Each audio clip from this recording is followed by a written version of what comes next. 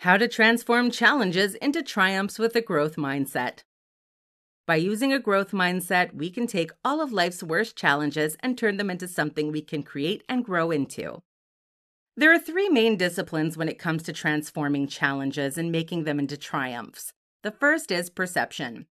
Perception is extremely important because this is how we change our view of the circumstances and reframe them for a time of learning and growth. While some changes are unavoidably bad and hard, your perception of the challenge can completely turn around how you tackle the issue. The second discipline is action. Anytime you face a challenge, the first thing you need to do is take action. If you sit around without doing anything, this can only make the challenge worse. Focus on the parts of the challenge you can control and what you can do to make the most of the situation. What parts of the challenge can you influence the most?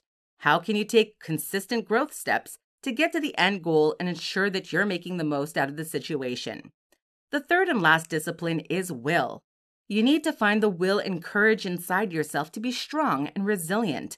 It's time to face all your challenges head on rather than just trying to sideswipe them and get by. Now it's time to talk about how to take your challenges and turn them into opportunities. The first thing you can do is embrace the adversity. Take whatever is standing in your way and make it the way to growth and extra chances. Any challenge can be an opportunity rather than a hindrance. The next step is one of the most important things because it involves controlling your emotions, which is the most difficult part for some people. When you can control your emotions, though, you can think clearly and make more concrete decisions. When you allow your emotions to control your decisions, you'll find it very hard to make sound decisions and you might end up making a very bad choice. Next, you need to differentiate between the parts of the challenge you can control and the parts that are out of your control.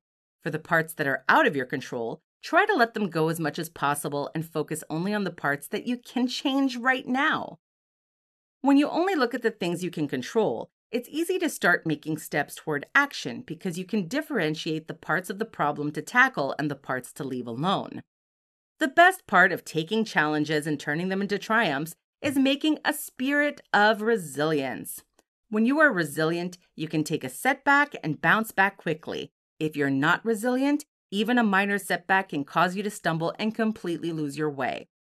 The main part of being resilient is to keep persevering and not allow problems to get in your way as you're trying to reach your main goal. I hope this short tutorial gave you some insight and advice on how to take life's challenges and turn them into triumphs. When you can take an issue or a challenge and start taking action, you are putting your growth mindset to work rather than just sitting idle and allowing your challenges to overtake you. For more free educational content, visit learnforfree.biz. Content produced and distributed by AllSuperInfo.